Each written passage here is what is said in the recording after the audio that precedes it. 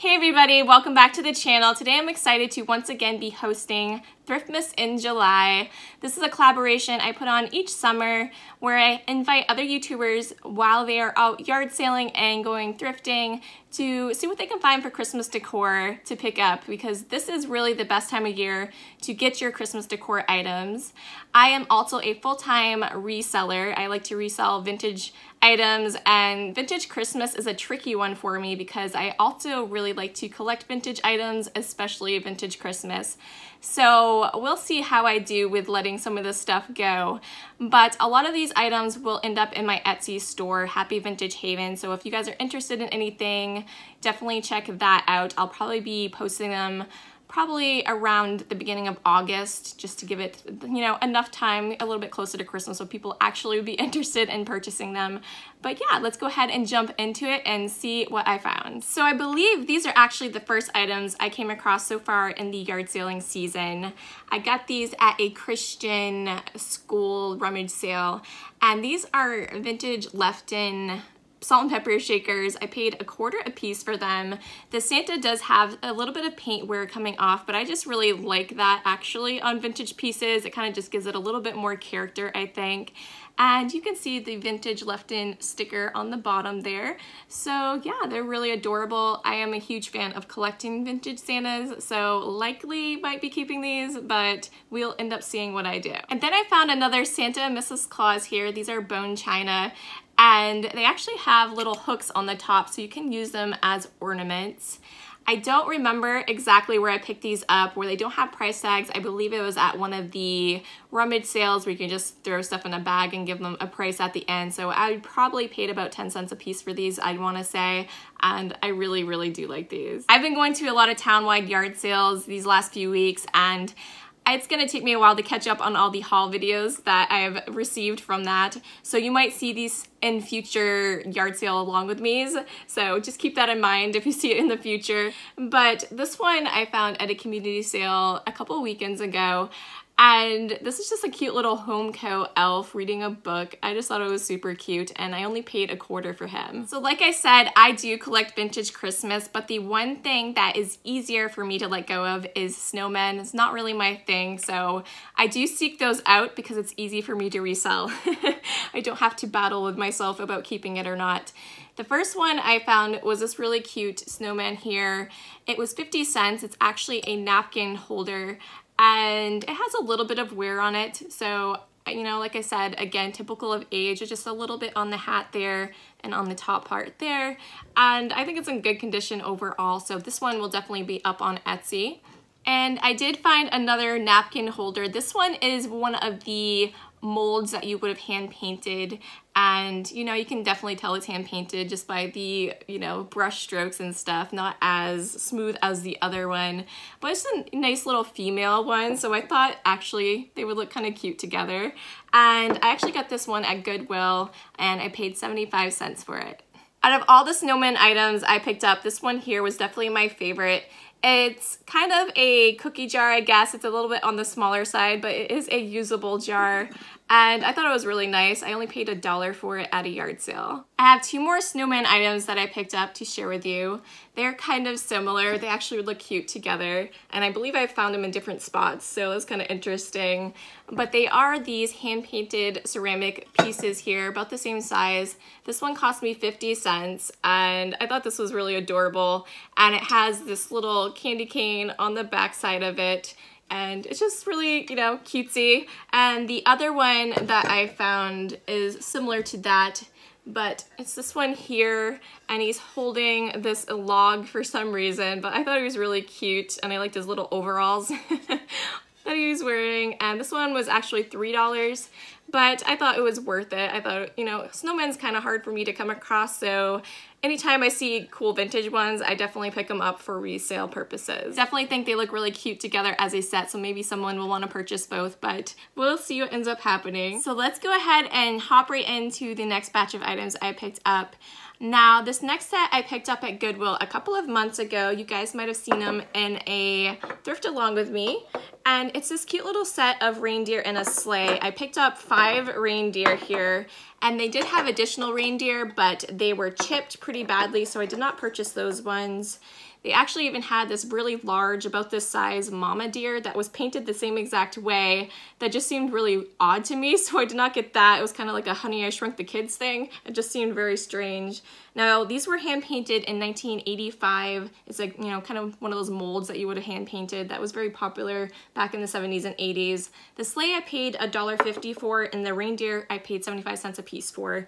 And these will be going up in my Etsy store. So also at Goodwill, I found this really pretty bohemian crystal vase. This is put out by Teleflora Gifts.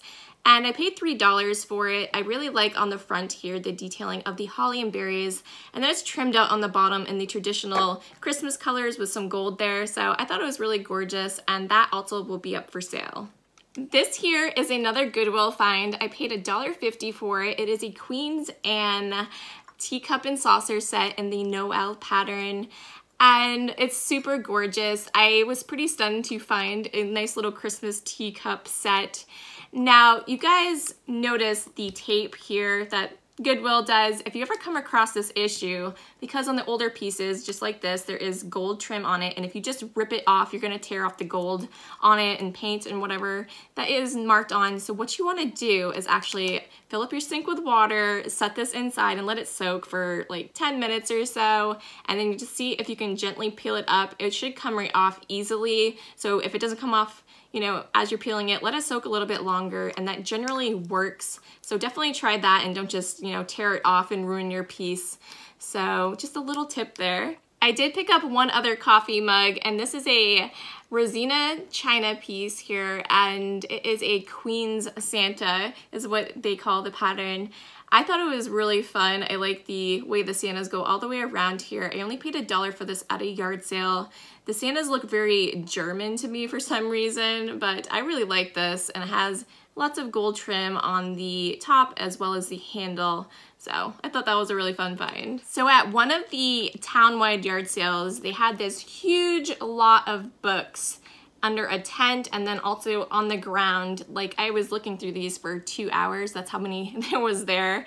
And I did pick up a ton of other books that will be in a future haul, but I found this one here and it's actually ephemera because there's actually no inside to it. Someone has ripped out the inside of the book and I believe they probably did that because they're probably gonna use it the same way I would use it and just set this, you know, out as decor for Christmas with a nice little vintage image. So I was happy to pick that up. It essentially cost me nothing because they were selling the books for a huge box for fill a dollar. So I'll basically say I got it for free, right? And I was definitely happy to rescue that because I don't think most people would have picked it up, but I'm definitely the type of person that likes to decorate with old stuff like this. So I was happy to get that.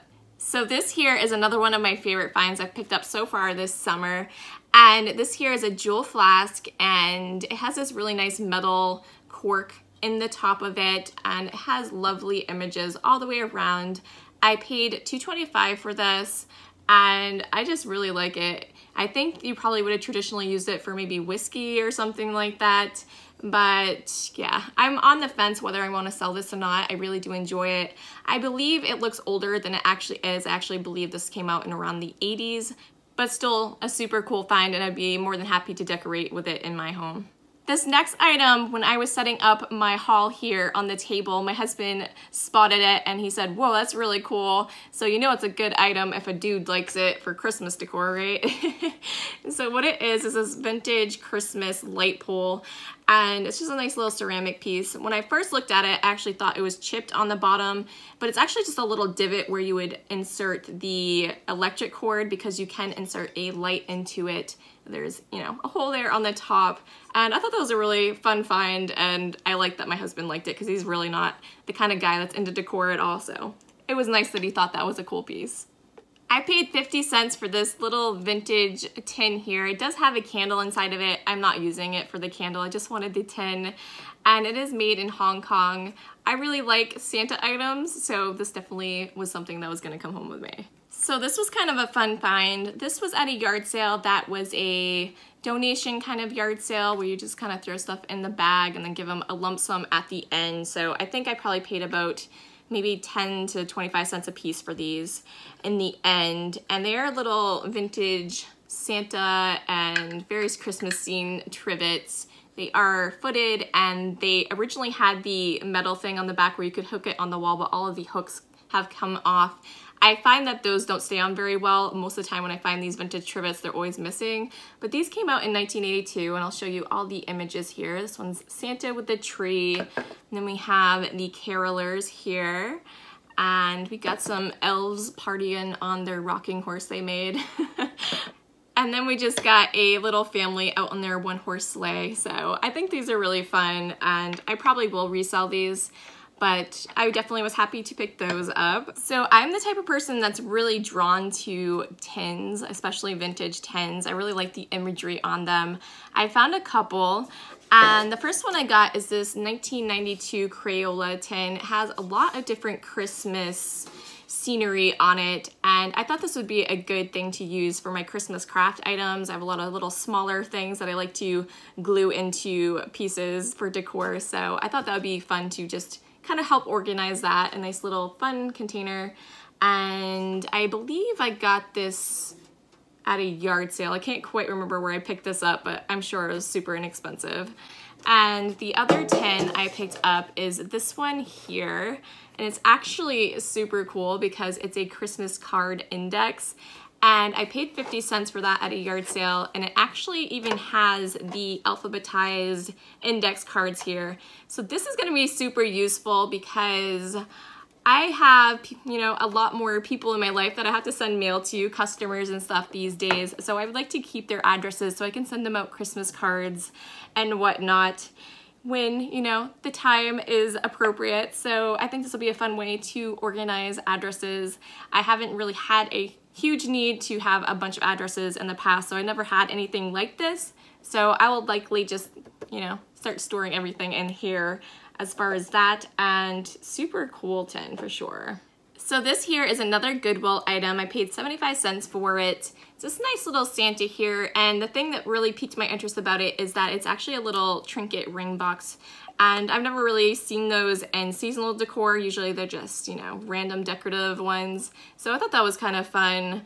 I potentially will resell this one because I like the really older looking vintage Santas usually in my own collection, but I would still say this was probably from at least the 90s, so I think it's totally doable to put up on Etsy, and yeah, definitely a fun little piece. So last weekend I went to a town-wide yard sale, and they had a few Christmas items there. I found this Apple cake tray in this holly berry pattern and it has it on the pedestal as well. I only paid a quarter for this. I couldn't believe the price on it. So yeah, I got that. That was a good find. And I also got this little, it's actually a candlestick and it's just this cute little vintage, I guess she's a caroler. And I believe I only paid 10 cents for her. I, what is it? It's actually an Avon piece made in Hong Kong. I didn't realize it was Avon, so that's pretty cool. And yeah, I was happy to get that. Very cute. So this next thing is one of those things that I looked at and I thought I probably personally wouldn't use it, but I knew someone would want it because it's definitely pretty cutesy and it appears to be homemade. It might not be homemade, but it definitely has the homemade look to it. And I believe what it is is a tree topper actually. It's this cute little angel here and you can uh, move the skirt up like this and I believe it will set on your tree like that on the top. So I thought it was really cute and I definitely think it's a fun little tree topper that not everyone would have. You know, you could have a little bit of originality to your tree, something a little different. It does have the like paper towel. It's a thicker, it's probably almost like a Christmas wrapping paper roll that is made in the center here and I only paid a dollar fifty for her so I thought it was worth the chance to take and see if anyone might want that for even just to decorate with or attempt it as a tree topper. I'm not sure if it will work, but I'm pretty sure that's probably what it was intended for. So I thought that was a really cool find. I found a few other handmade items. That's usually what I like to look for is either handmade or vintage Christmas. They kind of usually go hand in hand really, but it's a set of four little decor pieces here and I believe what they did was took some kind of a towel, it's a kind of soft material, kind of glued that on, then they put these patches on it, and then they put little frilly lace around it. They are on the embroidery rings, and it's, you know, lined in the back so you don't have to worry about that if it spins or something. I don't know why it would, but this one here is probably my favorite because it is a little bit more of a vintage looking Santa. And then they had this one here with the candy canes on it. And this one is another Santa, which looks a little bit too modern for me. I like the other one a little bit better, so I'll probably resell that one. And this one has the Christmas bells on it, which I thought was really fun. So I believe I paid about 10 cents a piece for those. I can't quite remember, but I know it was at a yard sale. So my last item I'm sharing with you is my favorite item I've picked up so far this year. And if you saw my invite video for this collab, you probably already saw it, but it's this vintage Relpo Santa planter. It came with these florals already in it, good to go. I paid three bucks for him. And this is my style of Christmas decor. I like the vintage Christmas stuff. That's just my jam. so I will not be reselling this guy. He is mine, but I was definitely so happy to find him.